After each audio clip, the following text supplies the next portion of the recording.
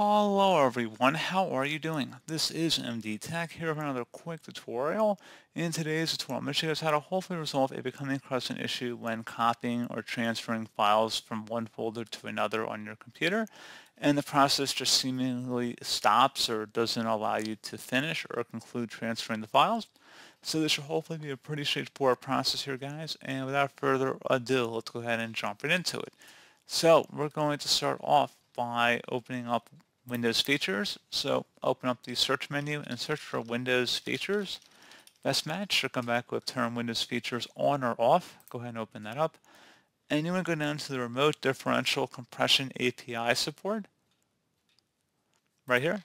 And you want to go and uncheck that option to turn that off. So once you've done that, select OK and give that a moment here.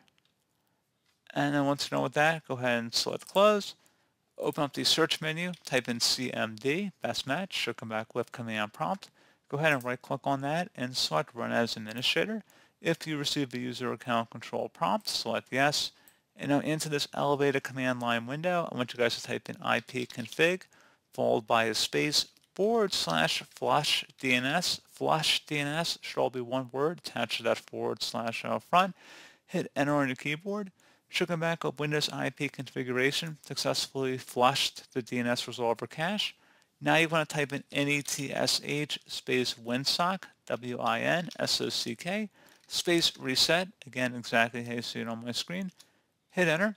Again, should come back with successfully reset the WinSock catalog. You must restart your computer in order to complete the reset. Once you've done that, go ahead and close out of here and then restart your device.